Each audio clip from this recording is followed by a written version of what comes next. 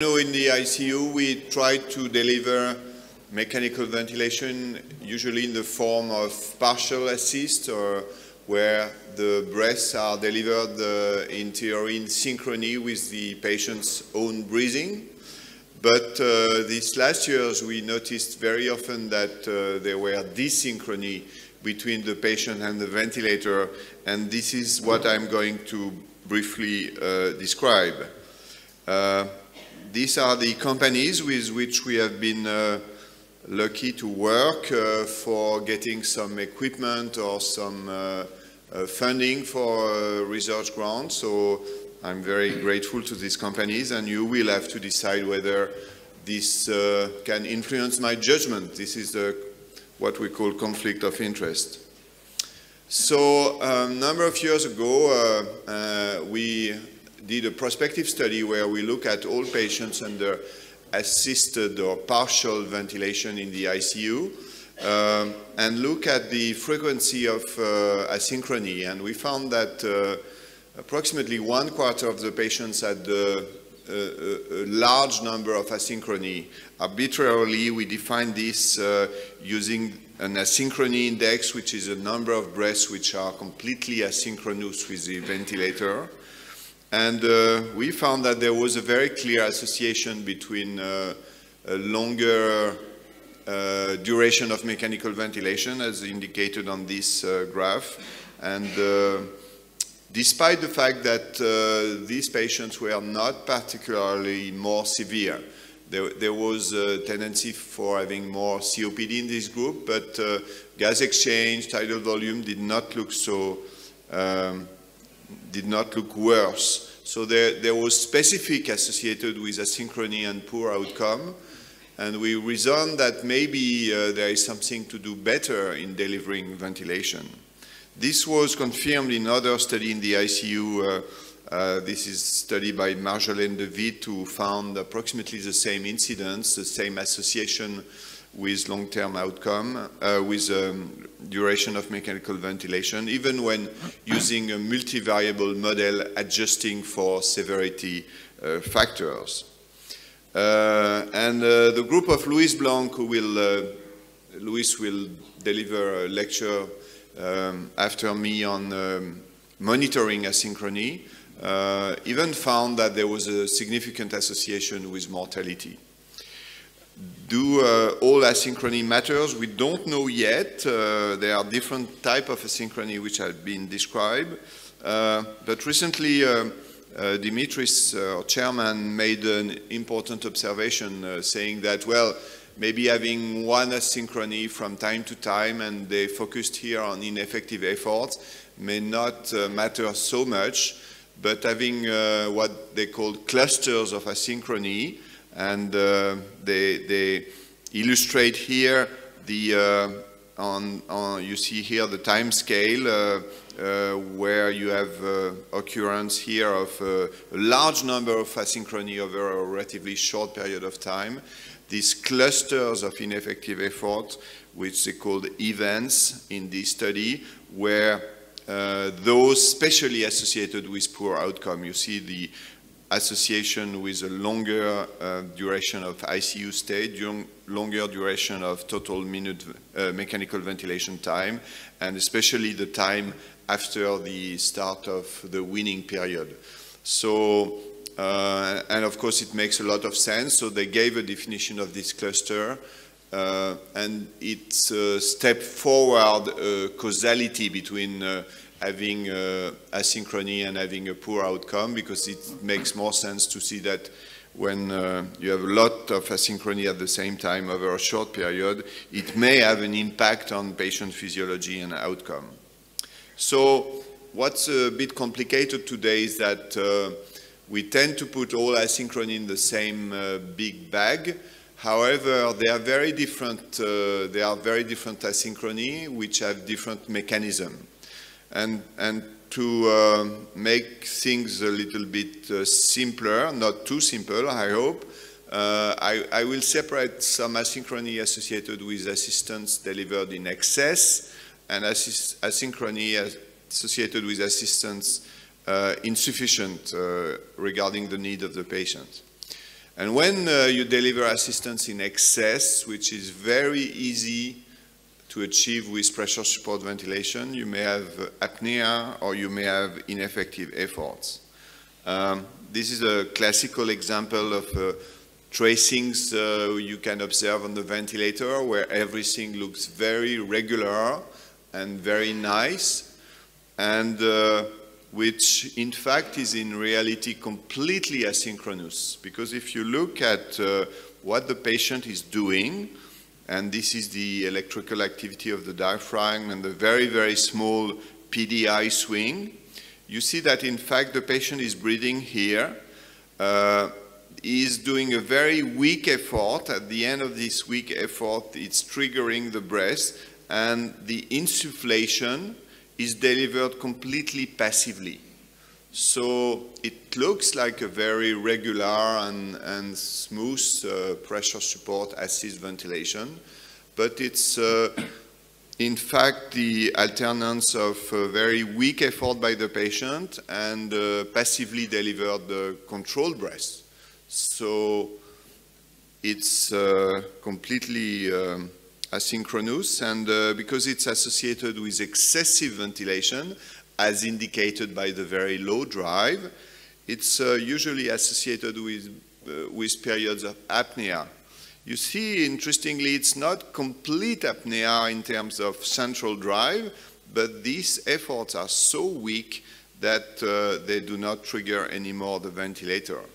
And these periods of apnea have been shown, for instance, for patients with, uh, who are sleeping on the ventilator or trying to sleep, to induce repeated episodes of arousal or awakening. In this uh, nice study by Sai Parthasarathy and uh, Tobin, you see on the tracing of tidal volume, for instance, the repeated episode of apnea, which were associated on the EEG pattern with repeated awakening and arousal. So if you imagine a patient uh, always trying to go to sleep and always having this experience, experiencing this episode of apnea and arousal and awakening, this can be terrible and, for instance, be a good reason to worsen outcome. So this is the first thing uh, I think we clinicians should be uh, attentive to when we see uh, the alarm of low minute ventilation and pressure support. In uh, most of the cases, it's because we give too much pressure support, especially when patients try to sleep. The next thing which will happen, especially if the patient has some degree of obstructive lung disease, is uh, triggering asynchrony or ineffective effort, which was initially uh, nicely shown by um, Chao et al. in this uh, group of patients with uh, chronic ventilator dependence. And uh, what you see here are the breaths delivered by the ventilator. This is assist control, but this could be pressure support. And when you look at the esophageal pressure tracing, you see every uh, bar, vertical bar, uh, indicates an effort made by the patient. And when you look at the uh, scale of the pressure, it, it's not it's not very, very small effort, it's relatively large efforts. And you see that uh, one effort, two effort, and three effort, only the third one is triggering the ventilator. So there is a complete dissociation between the number of effort done by the patient and the assistance given by the ventilator, which is at a much lower rate. Uh, and the issue here is both timing and the amount of uh, pressure or volume delivered. Timing is very well illustrated here. This is what you see on the vent. This is pressure support triggered by the patient. This is the flow. And this is what the patient is doing in reality. So you see the timing is not good because the patient is starting to work well before the ventilator can detect the um, uh, start of uh, the effort. And this is because there is some degree of intrinsic PEEP, not huge amount, maybe two, three centimeters of water. And at the time the breath is, uh, is uh, recognized by the patient, the patient has almost finished his own inspiration. then the ventilator gives the pressure maybe to an excessive amount and an excessive tidal volume. So the combination of this desynchrony in time plus the excessive amount of pressure and volume makes that for the next effort, which occurs exactly at the same normal Ti/Ttot for the patient, uh, there will be slightly more intrinsic PEEP, and for this next effort, the patient will be completely unable to trigger the ventilator, or if you wish, the ventilator will be unable to detect patients' um, um, effort. So this is the cause of ineffective triggering, and it's an association with a wrong timing and excessive level of ventilation. So you can try to work on the timing. For instance, in this study, we, we took benefit of having the, the monitoring of the electrical activity of the diaphragm to try to start earlier the uh, detection of the effort by adjusting the external PEEP and try to better adjust the uh, cycling um, on the ventilator. But this uh, is a complicated technique and maybe the simplest way to do uh, the adjustment in terms of uh, pressure and volume is simply to reduce the uh, pressure support level or to reduce the time of delivery of pressure support uh, by adjusting the expiratory uh, cycling uh, mechanism.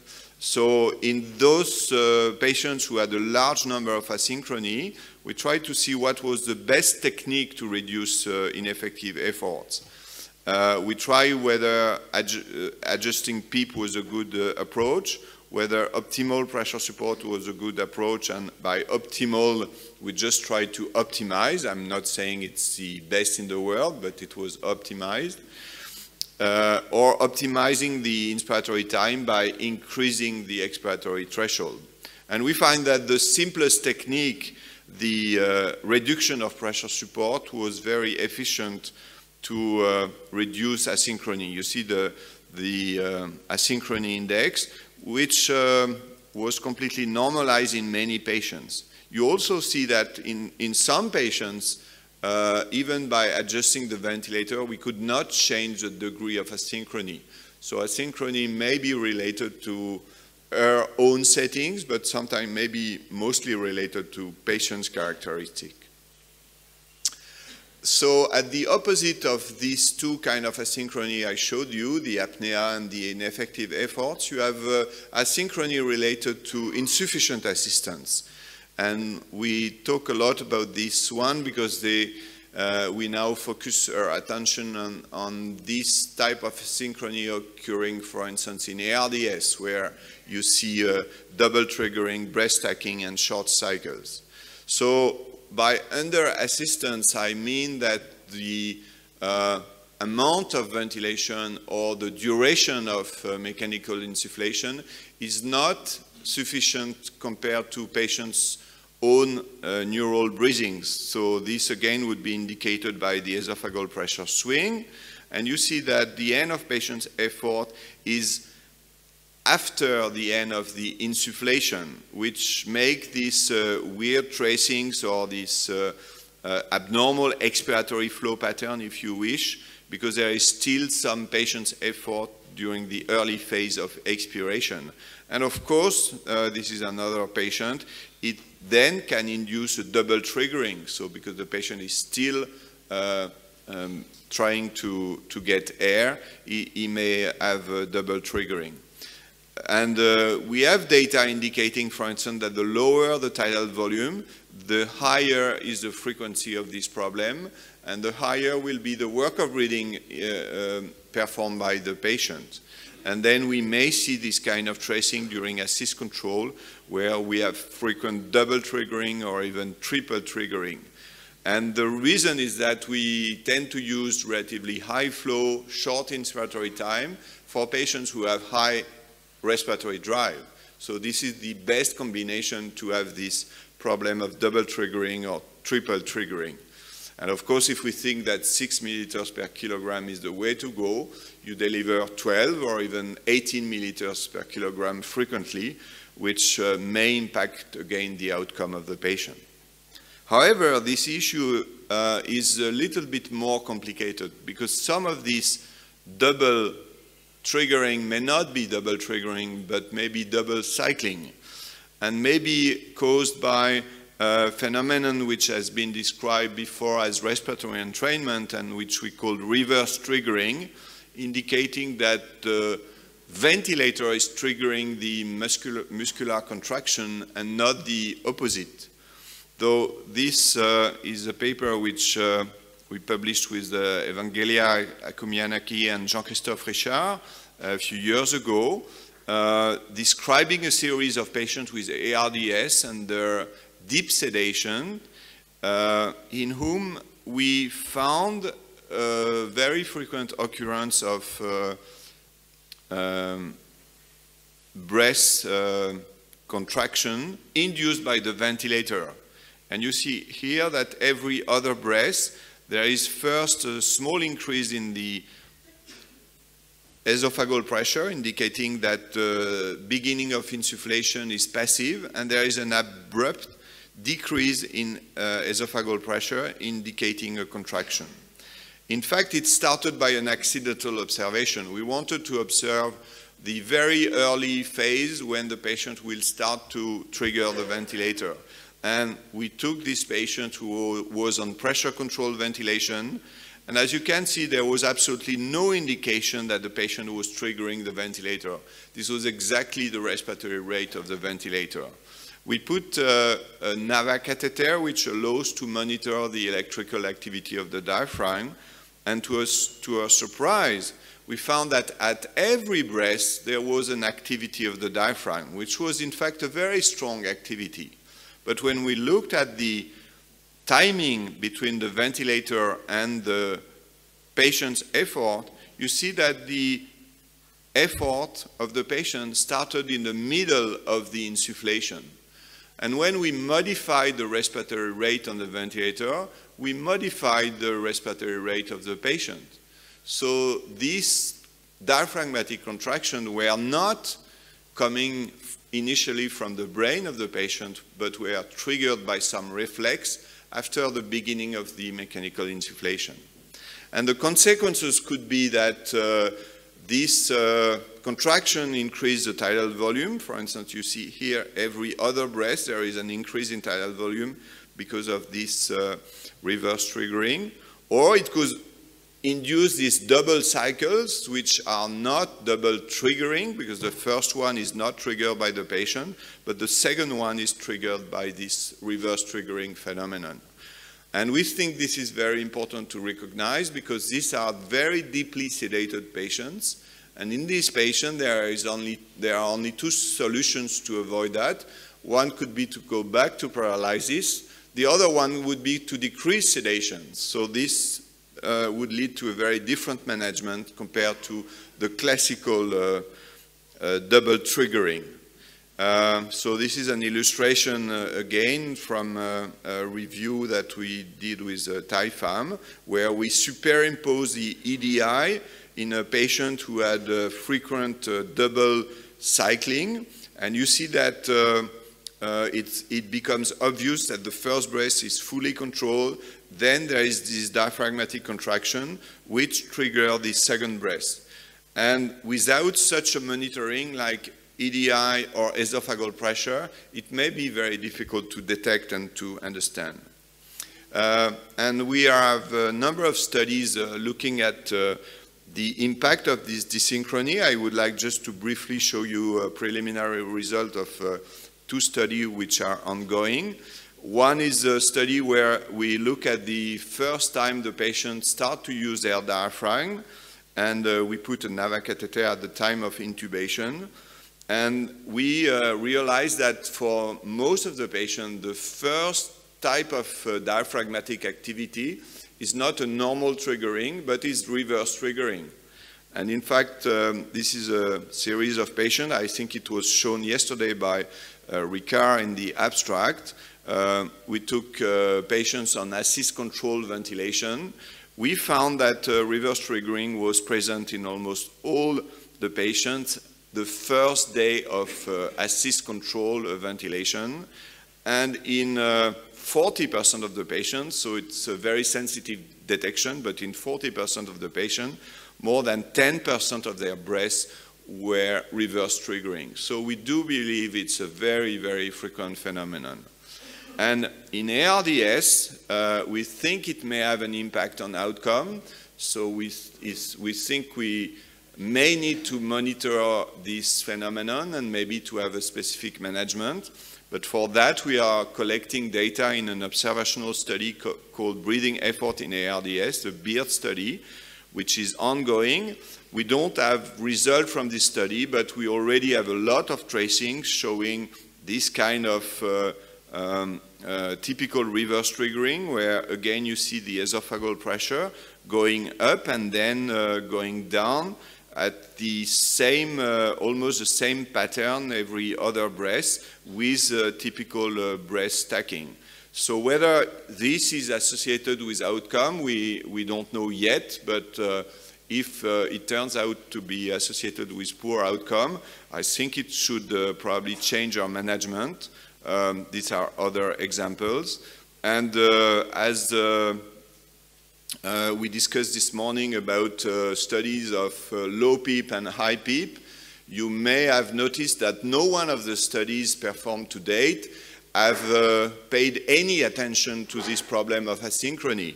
Uh, in the ART trial, which showed a higher mortality rate with high PEEP, uh, some investigator, I think one investigator called Marcelo from Brazil, made some recordings and found that in fact, uh, a lot of patients had uh, asynchrony in the form of double triggering or reverse triggering. And you could imagine that uh, this asynchrony could be much more uh, injurious if you have a, already start from a high PEEP than a low PEEP. So one explanation of this negative trial could be asynchrony. So in the future, if we don't pay attention to that, we will continue to have uh, unexplained uh, negative uh, randomized trial. So there are many clinical consequences of asynchrony, or clinical association, I should say, and this is why I think we need to pay more attention. This is just a long list saying that it may indicate sometimes excessive or insufficient ventilatory assistance. It may indicate dynamic hyperinflation inadequate sedation. It may be associated with sleep fragmentation, certainly associated with errors in assessing weaning re readiness. Uh, it is associated with prolonged duration of ventilation, maybe with respiratory sequelae and, and mortality. Uh, we need to figure out what is causal, what is just simple association, uh, and this is a, a very exciting challenge for the future. Thank you very much.